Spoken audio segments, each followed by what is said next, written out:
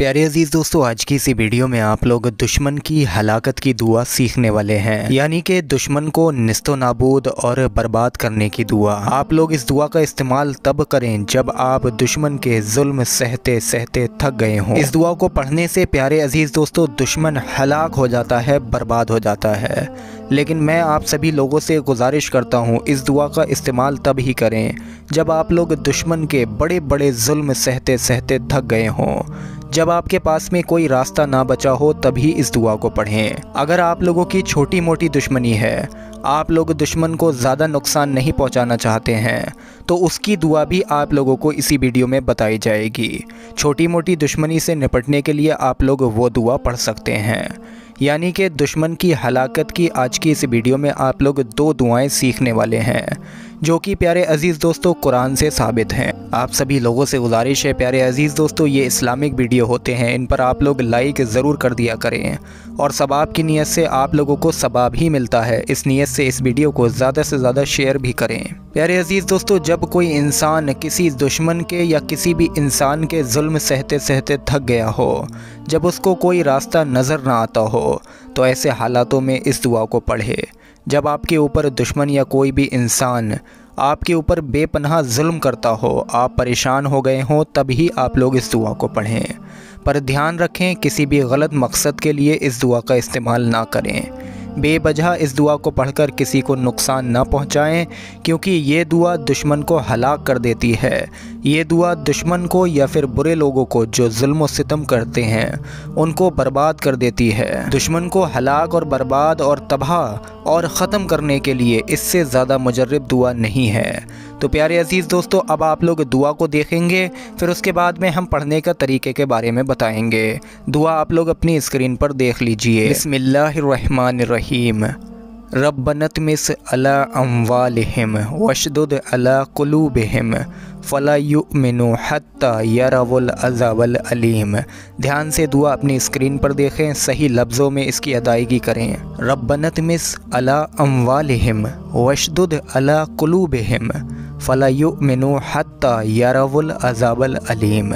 इस दुआ का तर्जुमा भी देखें, फिर आपको तरीका बताएँगे। इस दुआ का तर्जुमा है ए हमारे रब बर्बाद कर दे उनके मालों को और सख्त कर दे उनके दिलों को, ताकि वो ईमान न ले आएँ जब तक ना देख लें दर्दनाक अजाब को। प्यारे अज़ीज़ दोस्तों, इस दुआ को पढ़ने का तरीका ये है कि आप लोग कहीं पर भी अकेली जगह पर बैठ जाएँ, खामोशी से आप लोग इस दुआ को पढ़ेंगे। उस वक्त में जब आप ये दुआ पढ़ रहे हैं तो देख लें आपके आसपास में कोई भी ना हो। और आप लोग इस दुआ को रोज़ाना तब तक पढ़ते रहेंगे जब तक आप लोगों का दुश्मन हलाक ना हो जाए, बर्बाद ना हो जाए। या दुश्मन वो आपके पास आकर माफ़ी ना मांग ले। इस दुआ को पढ़ने के लिए जब आप लोग बैठ जाएँ तो सबसे पहले तीन मरतबा शुरू में कोई सा भी दुरुद पाक पढ़ लें।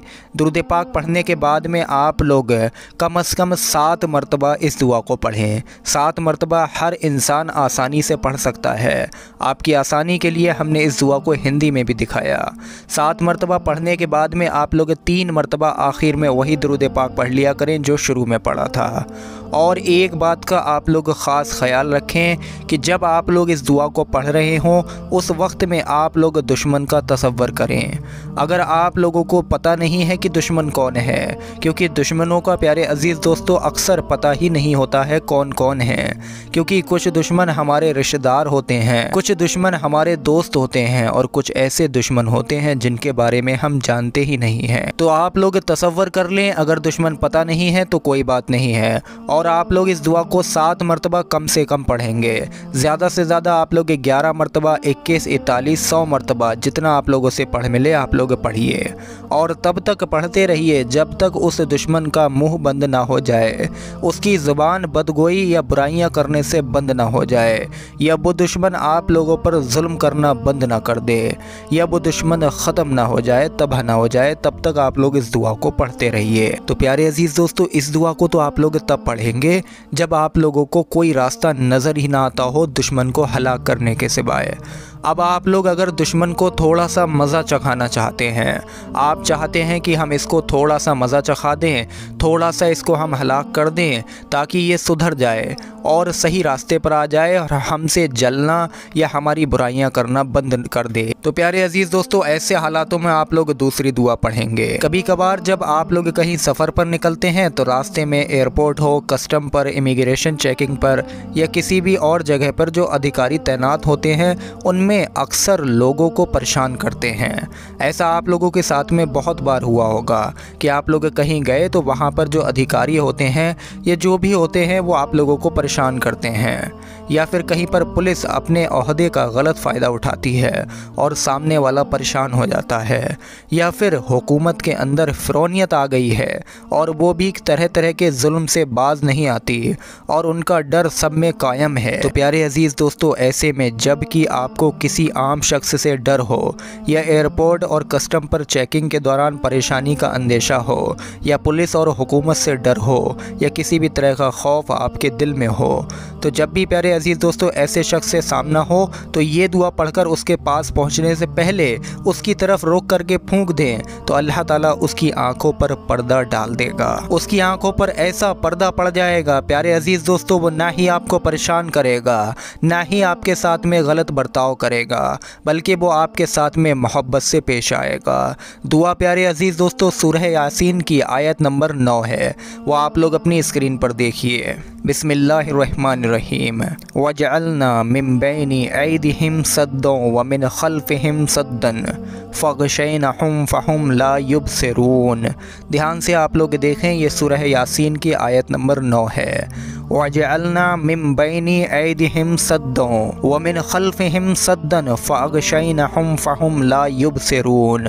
इसका तर्जुमा भी आप लोग देख लीजिए। और हमने एक आड़ उनके आगे खड़ी कर दी है और एक आड़ उनके पीछे खड़ी कर दी है और इस तरह उन्हें हर तरफ़ से ढाक लिया है, जिसके नतीजे में उन्हें कुछ सुझाई नहीं देता। प्यारे अज़ीज़ दोस्तों, जिस बंदे से ख़तरा है या किसी भी तरह का डर है तो ये दुआ उसकी तरफ़ पढ़कर आप लोग फूक देंगे तो वो आपको परेशान नहीं कर पाएगा और उसकी आँखों पर इन पर्दा पड़ जाएगा। ये दुआ आप लोग छोटी मोटी दुश्मनी निकालने के लिए भी पढ़ सकते हैं। हैं। कोई आप लोगों का छोटा मोटा दुश्मन है जिसको आप लोग सुधारना चाहते हैं। आप ये चाहते हैं कि ये अपनी गलत हरकतों से बाज आ जाए। ये आपको परेशान करना बंद कर दे। ये आपकी गिबत और चुगलियाँ करना बंद कर दे। ये आपसे दुश्मनी ना करे। तो प्यारे अज़ीज़ दोस्तों, उसके लिए आप लोग ये दुआ पढ़ सकते हैं। लेकिन ये दुआ उस हद तक काम करती है कि वो इंसान नेक रास्ते पर आ जाए। वो इंसान हर तरह की मकारियाँ बंद कर दे। और जो इससे पहले प्यारे अज़ीज़ दोस्तों दुआ बताई लड़ाई वो ख़ास करके दुश्मन को हलाक और बर्बाद कर देती है। अब आप लोग देखें, जैसा भी आपको अच्छा लगे, जो दुआ आपको समझ आए, वो आप लोग पढ़ लें। इन तबारक वाली इन दोनों दुआओं से दुश्मन का मुँह बंद हो जाएगा और वो आपको परेशान करना बंद कर देगा। लेकिन आप लोग प्यारे अज़ीज़ दोस्तों, किसी भी ऐसा दुश्मन हो, जो आपको ज़्यादा परेशान ना करता हो, उसके लिए आप लोग कोई भी दुआ ना पढ़ें।